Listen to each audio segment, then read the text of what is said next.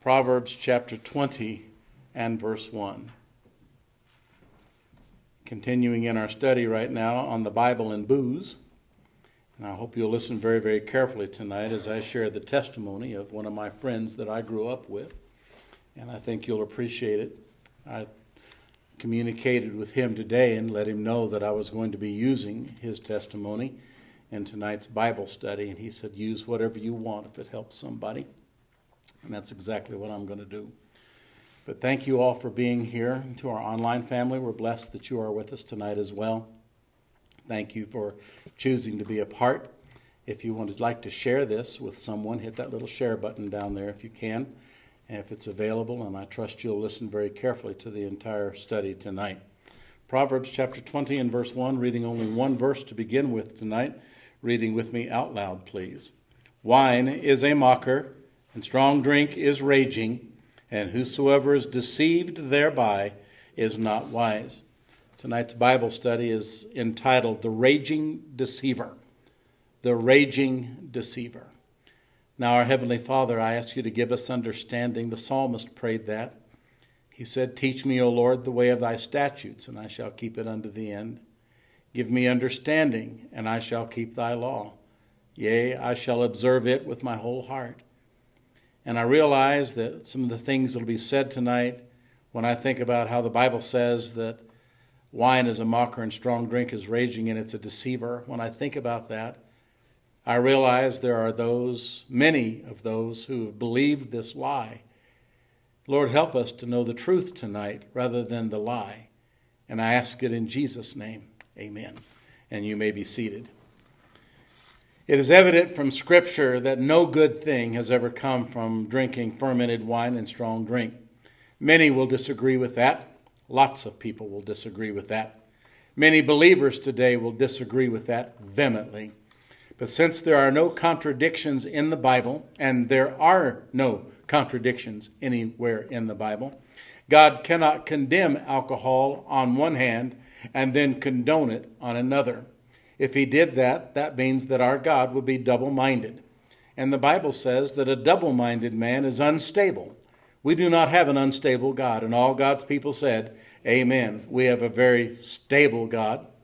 And so, therefore, Proverbs chapter 20 and verse 1 stands faithful uh, to the whole of Scripture. Alcoholic wine remains a mocker, and strong drink remains raging, and both are the great deceivers of mankind. You can take that one to the bank. The Bible has no contradictions, and it says what it means, and it means what it says. And even a casual study of the scriptures surrounding the use of wine and strong drink in the Bible shows plainly that consuming alcoholic wine and strong drink are simply not good. Just a casual look, it shows that it's not good. However, today there are still many who have swallowed the alcohol and wine lie, literally by the bottle and by the canful. They've swallowed it and they believe the lie. There may even be some online tonight, no one in this room I know uh, would be this way, but there are some that may be listening online that have already decided that what I read is not correct and that it is okay and they will give example after example found in the Word of God. As one was shown to me today, of course, it was out of its context in the book of Ecclesiastes, where it said that uh, it said that uh, drinking wine and eating food uh, was uh, was okay, and that money was the answer to all things. When I think about that, that's ex- by the way, that's what the verse basically says. But that was written by a man who was away from God. His name was Solomon. And in the book of Ecclesiastes, he gives his testimony about what life was like when he was away from God. And that was one of the conclusions that he came to was that food and drink and money are the only thing that we really need in this life. But he found that all of that was vanity. Everything was empty. And so when I think about there, it has been said in an earlier message that wine and strong drink are liars, this is not surprising because alcohol uh, is of its father. And who is its father? One might say, Are you going to say the devil? Well, the Bible says it's a liar. Let me read to you John chapter 8 and verse 44. It says, Ye are of your father the devil, and the lusts of your father ye will do. He was a murderer from the beginning, and abode not in the truth, because there is no truth in him. When he speaketh a lie, he speaketh of his own, for he is a liar and the father of it. And the Bible says that wine is a mocker and strong drink is raging, and whosoever is deceived. And remember how we, dis- we define the word deceived? It means a lie. So the devil is the author of all of it. Amazing. Lucifer started out lying to himself and lying to God. He then lied to Eve in the Garden of Eden and encouraged her to lie to Adam. And Adam believed the lie and plunged the entire human race into a fallen, sinful condition. Satan's plan never really changes. He's all about the lie. And by the way, the lie that he told in the Garden of Eden was he says, You can be your own God. You don't have to have a God over you. You go back and you read that in Genesis and you find out that he told Eve, Ye shall be as gods, he said. Well, the lie has been around for a long time. He's the father of lies. And also, the Bible says that wine and strong drink are deceivers, they're liars as well. And I just want to say this uh, He is the great deceiver, the devil, and everything he involves himself with is full of deceit. And alcohol is not the exception to the rule. Someone will argue that, I know. Someone will talk about how they stop at the little winery and they have a little bit of cheese and maybe some crackers and, and they'll drink some maybe some red wine or they might go out with a friend and they might go to a restaurant and there they'll order their surf and turf and might order up some white wine or they might go to a wedding reception and they'll pass out the toasting champagne uh, at the end when everybody's toasting the new couple and justify it any way they want to. But the Bible still says wine is a mocker and strong drink is raging, and whosoever is deceived thereby is not wise. They've simply believed the lie. Alcohol has been deceiving mankind as long as man has been drinking it. I make no apology for what I say, none whatsoever. And I have friends and I know family members. Uh, uh, my extended family, as far as you want to go, I'm sure there's plenty of alcohol out there somewhere. I remember growing up as a kid, I had uh, cousins and all the rest of it. They would go down to the local store, down to the Piggly Wiggly, as it was called down in Oneida, Tennessee, or might go over to uh, uh, the uh, local grocery store, not just Piggly Wiggly, and they might just pick up a six pack or a 12 pack or a 24 case of their favorite uh, cheap beer that they had down in Tennessee because nobody had money down there. And they, they would buy the Miller and the Schlitz and all the rest of it and take it, and then they would drink it. And and many a time, maybe even go get some of the Tennessee whiskey because it was down in Tennessee, and then they would drink it. And I had an uncle who died of alcohol poisoning in his body, died of a heart attack, and the doctor said that when they examined him after he died right there in a store as he was checking out, they said, and I don't know how accurate this description is, but they said that his heart exploded and he had more alcohol in his veins than he did blood. Now, I know that's an exaggeration, but he was a drunk he was a drunk. So, tonight, what I want to do is I want to talk about the raging deceiver only in a couple of points and then with a longer illustration. Number one, if you're taking notes, I want you to see the evil effects of alcohol. And you're going to want to use your Bible. Okay? You have your Bible with you tonight. And I'd like you to go, first of all, to Genesis chapter 9. Genesis chapter 9. We will start reading in verses 20 through 26, and I'm sure you'll get there about the time I'm starting to read. But listen to this very sad story in the Word of God. It says, And Noah, in verse 20, began to be an husbandman, and he planted a vineyard, and he drank of the wine and was drunken. So it means he fermented, he distilled this stuff and turned it into alcoholic beverage. You don't get alcohol out of a grape. You don't get alcohol out of a fig. You get alcohol out of a berry or a grape or something that has taken time to ferment. And so he took this, that he drank of the wine and was drunken and was uncovered within his tent.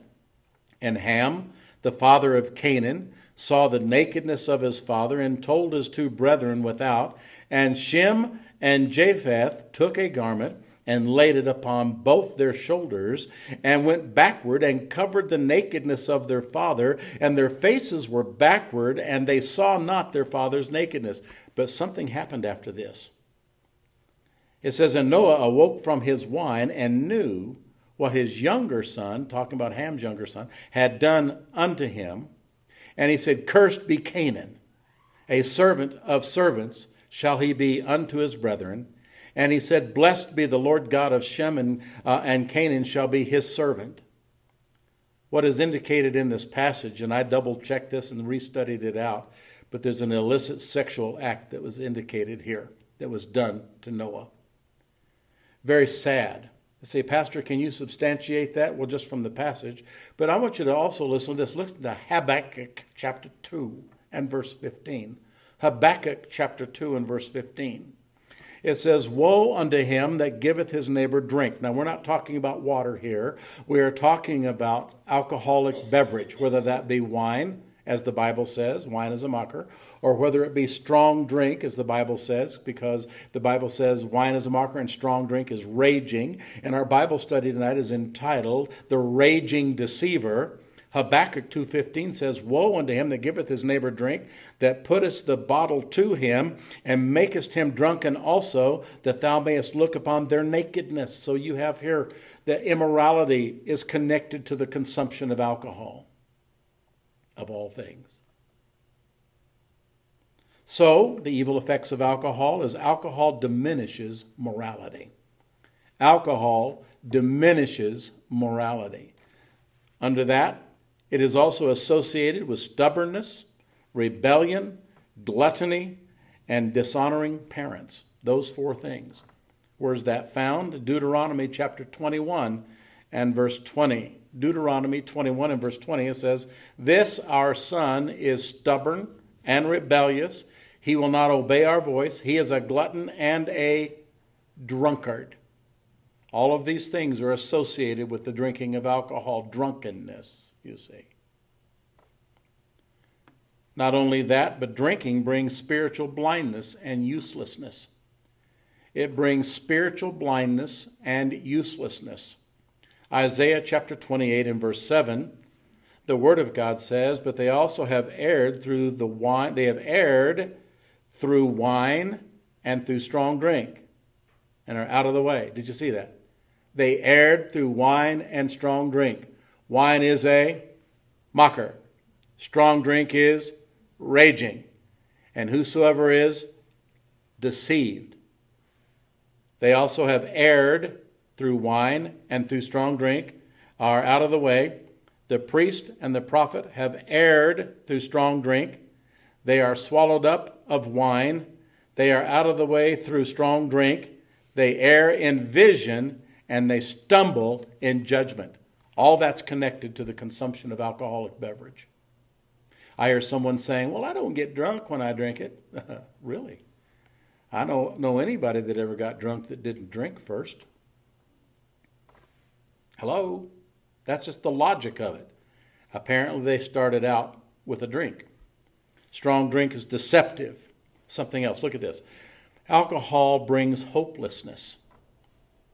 Hopelessness.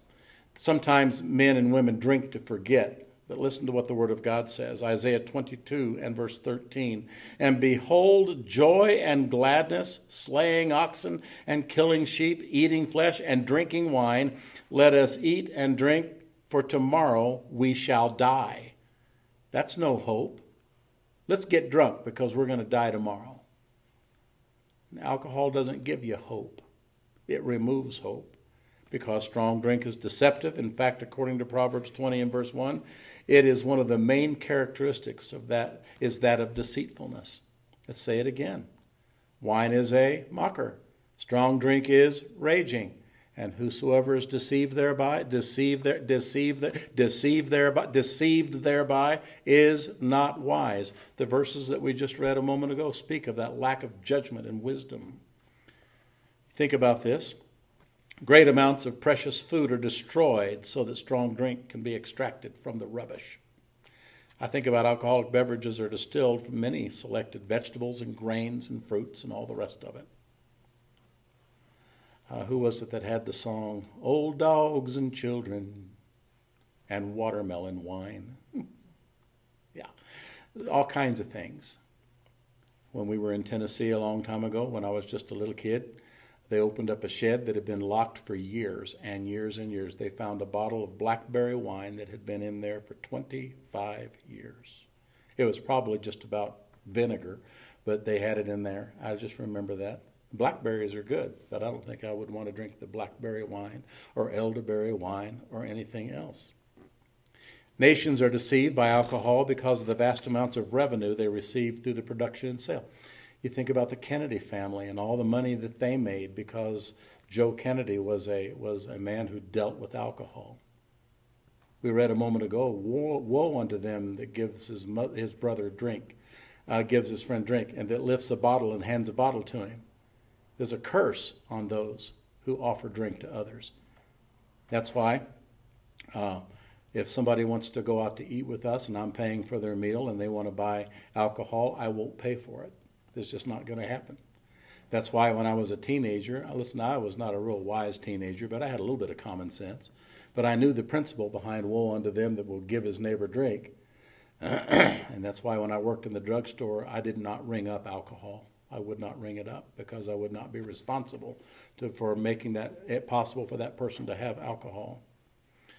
I think about how friends are deceived as many relationships are made on the basis of social drinking, and that is a worthless counterfeit for real friendship. I think about at the first, listen to this, I wrote this on purpose. At the first, alcohol allows you to hold it, but as time goes by, it requires you to hold it. And after that, those who drink refuse to let it go because it holds them. Let me give it to you again. At the first, alcohol allows you to hold it.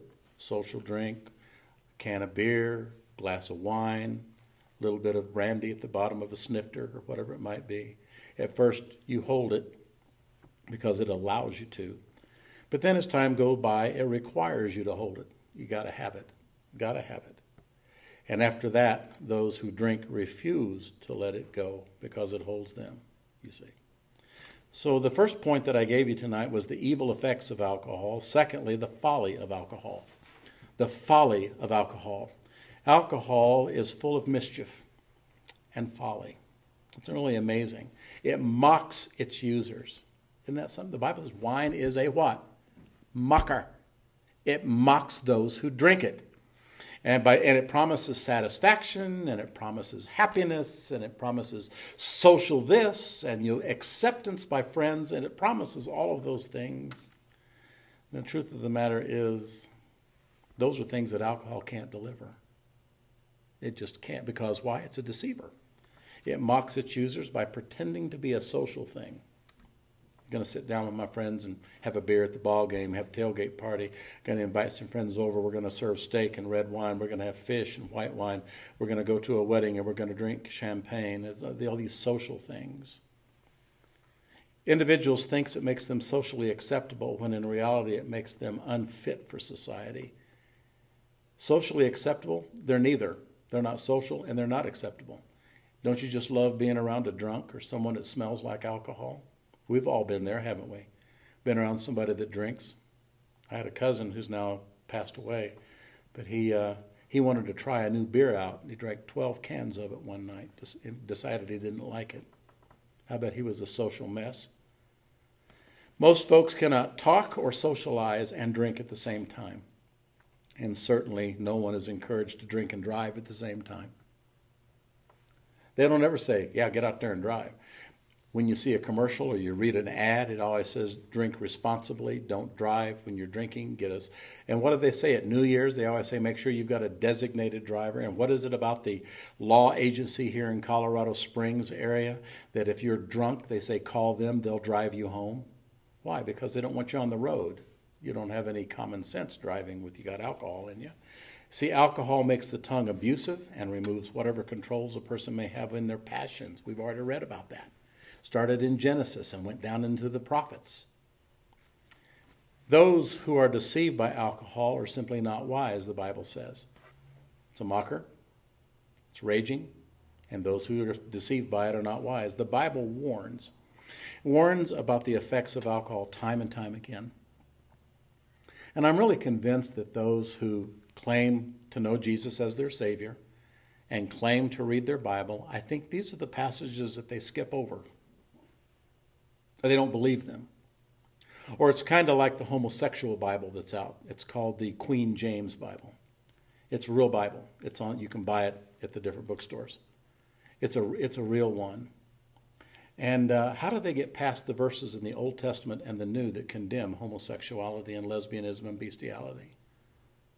I think people who justify drinking overlook those verses about alcohol in the same way that the homosexual crowd overlooks the verses that condemn homosexuality. And by the way, homosexuality is condemned in the Bible, and so is lesbianism, and so is bestiality or bestiality, however you'd like to pronounce it, and so is drunkenness, and so is alcohol, and so is disobedience to parents, and so is witchcraft, and so is drug abuse. It's all there, it's all condemned by the Word of God.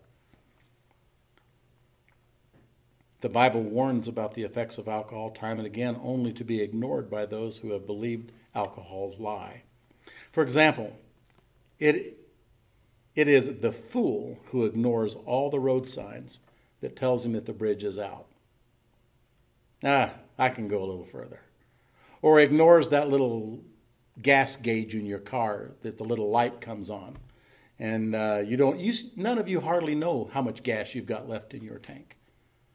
I listened to a old time radio program years ago, and uh, they were traveling on a country road, which, by the way, was the name of the program that it was on. Old time radio on a country road, one of my favorite ones. And the gas gauge in the car was on E. And she said to him, Your gas gauge is on E. He said, I know. I said, I've always got a couple of gallons left. Kaput, kaput, kaput, kaput. Not paying attention to the signs, you see. The fool plunges headlong over the edge, and it's in the same way. It's the fool who knows all the warnings along the roadside about alcohol and chooses to drink anyway. He's a fool. Now I want you to go back to the verse in Isaiah 28 and verse 7. Isaiah 28 and verse 7. Because this verse speaks of the drinking of alcohol, and it says, But they also have erred. That's important. They erred through wine. It did not say they erred through drunkenness. I want you to notice that. Sometimes it's just as important what the Bible does not say. It did not say that they erred through drunkenness. It said they erred through wine and through strong drink are out of the way. The priest and the prophet have erred through strong drink. They have swallowed up the, of, of, the, of wine. They are out of the way, though strong, through strong drink. They err in vision, they stumble in judgment. Now, the implication is they're talking about drunkenness. But the Bible doesn't mention drunkenness. It says it was the wine and the strong drink that changed them. And so, and so here's something else. The heart that you have for God will be lost through wine and strong drink. Listen to this. If you can find it fast enough, Hosea chapter 4 and verse 11. The Bible says, whoredom and wine and new wine take away the heart. Wow. So here you have alcoholic beverage, getting drunk, drinking, whether it be social or whether it be alone in your home while sitting in your easy chair in front of the fireplace. It doesn't matter. It, did you see it's connected with whoredom and losing your heart? I'm not even going to ask you to tell me who you know who through alcohol has lost their heart for God by justifying their drink. Now, preaching against the sin of immorality is something that Christians don't mind. If I were to get up here and talk about whoredoms and prostitution and, and talk about uh, all the sexually transmitted diseases that come along because of immorality and all the rest of it, if I were to lambaste uh, homosexuality and lesbianism and bestiality and all the rest of it, you all wouldn't mind, even though you don't want to hear those words. And I don't like saying them either, by the way. It's like, Amen, preacher, preach against that. Yeah, I can do that. Harlotry, prostitution, but, but no one has respect for that area in the town called the Red Light District. When I was a uh, when I was in college in 1976, we took a trip to Boston, Massachusetts, and we were helping a man start a church in Canton. His name, by the way, was well, never mind what his name was, because I don't even know if he's in the ministry anymore. But we helped him start a church, and we had to drive through a bad part of town, and they said, This is the combat zone. And combat zone was the red light district in Canton, Massachusetts. Combat zone because it was filled full of prostitution and whoredoms and, and, uh, and all the rest of it, whoremongering. The words prostitute, prostitution, whore, and pimp are words that we associate with the worst of sins. But according to Hosea 4:11, wine and strong drink have the same effect. They take away the heart. Wine and strong drink will render those who are deceived by them incapable of getting wisdom. And for alcohol is a sin that so captivates an individual that it actually takes away his heart. And it does. Now, I'm going to bring this Bible study to a conclusion tonight with the illustration. I have two illustrations I want to share with you one from history and one from my own friend's life. I want to close the message with the following story told by General Harrison, one of the candidates for the presidency of the United States many years ago, in connection with a public dinner given uh, for him on one occasion. Here's what he said, and I quote this is all that he said. He says, At the close of the dinner, one of the gentlemen drank to his health and the general pledged his toast by drinking water. Another gentleman offered a toast and said, General, will you not favor me by taking a glass of wine? The general, in a very gentlemanly way, begged to be excused. He was again urged to join in a glass of wine. This was too much. He rose from his seat and said, in the most dignified manner, Gentlemen, I have twice refused to partake of the wine cup. I hope that will be sufficient. Though you press the matter ever so much, not a drop shall pass my lips. I made a resolve when I started in life. Now that's interesting because Daniel, when did he make his decision about not consuming the king's wine and the king's meat? Early. And here's what this general, here's what General Harrison said. I made a resolve when I started in life that I would avoid strong drink. That vow have I never broken. I am one of a class of 17 young men who graduated together. The other 16 members of my class now fill drunkards' graves, and all from the pernicious habit of wine drinking. I owe all my health, my happiness, and prosperity to that resolution. Would you urge me to break it now? End quote. Personal testimony from him. As I said at the beginning of this Bible study, no good thing has ever come from the drinking of alcoholic beverages. It just doesn't. And again, even a casual study of Scripture shows that God does not want us to be controlled by, and you get controlled by it by starting to drink it. You don't take the first step if you don't want to end up in the ditch. You just don't do that. And He doesn't want us to be influenced in any way by alcohol, the great deceiver. Now, the following, I'm going to read it word for word is an email exchange with my friend John, who responded to an outline he received from me many years ago. John said, My family were a bunch of slobbering drunks, and having seen all that bad that came from it, I never had the desire to drink. I said, I guess I never really knew that about that part about your family. I'm sad that you had to endure the evils of alcohol. John says, I thought everybody knew. I tried to hang out at your house as much as I could. You were my best friend, and it was always amazing to see a normal, loving family actually getting along. John then said, My dad would beat on me when he was drunk. Sometimes I was really guilty of something.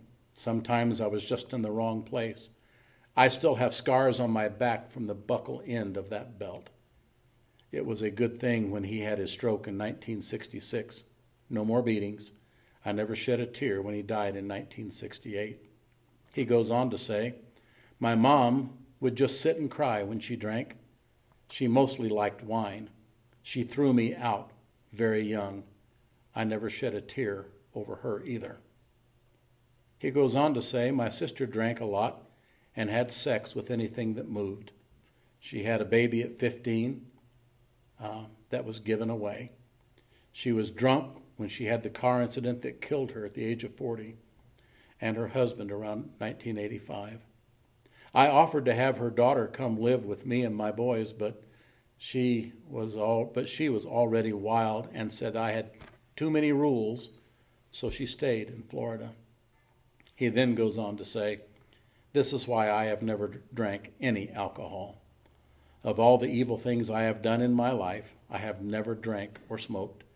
I can certainly see behind the TV shows and ads that tell you that what, what fun it is. I know better. People need to know that what they see on TV and movies is not real, and there is nothing funny or entertaining about drinking. I tried to emphasize what he emphasized in his writing. I communicated with him just today. I told him I would use that illustration. He said it was perfectly okay for me to do. John did come to our house, and he hung around us. He loved my mom and dad. He loved me. I'm not sure he loved my brother as much, but I know that he loved me. But he wanted to be around a normal family because he never had a normal family. Alcohol destroyed. In fact, I did not include here what he wrote to me today, but he said alcohol destroyed my family. And it's true. One might argue and say, well, it wasn't alcohol that destroyed them. It was, it was their lack of character. They, did, they couldn't control it. No, they couldn't control it because after a while it controls you. And it never starts out that way. It starts off with a drink, something social, something not very alcoholic. It starts off with, oh, years ago there was Boone's Farm, a very low alcohol content wine. They had different flavors that they had. I never tasted it, but I heard people talk about it. But that's just like marijuana. It's an entryway drug. It's something that gets you started drinking. Because then you got to have more. Because what you got at first was not enough. And that's my Bible study for tonight. Is the raging deceiver. And there are so many today who claim to know Christ, and I don't doubt their salvation. I don't doubt their salvation at all. But I do know this they justify the drinking of alcohol. Brother Newport started a, a business that had a restaurant in that motel, and he refused to serve alcohol. I say to Brother Newport, Amen. That went out of business because people wanted alcohol. Well, and he was, he was urged to serve alcohol. And he put his foot down and said, I will not serve alcohol, and did not serve alcohol. And I admire you for that. You may have lost the business, but you kept your Christian character. And I praise the Lord for that. So, anyway, I want you to be thinking about it. You folks who are online tonight, I don't know what your ideas are about it. You might even have a bottle of bubbly sitting in the cabinet right now or a six pack of beer somewhere. I'm just going to urge I'm going to urge you to do this. I'm talking to my church family right now, but I'm going to direct this to my online family. I want you to consider what we said in the Bible study tonight. I'm not going to tell you what to do. I'm going to suggest you take seriously the verses that we read through tonight from the Word of God and apply them to maybe your personal situation. I love my friends who are online. I really do. And that's why we keep ministering online, is because there's a great deal of love for you. And I want to be able to minister to you as well. But tonight's Bible study was not just me blowing smoke. We read these things in the Word of God, and according to the Bible, there's just no good thing that comes from it. And I trust that what you'll do is take me seriously. To my church family, shall we stand?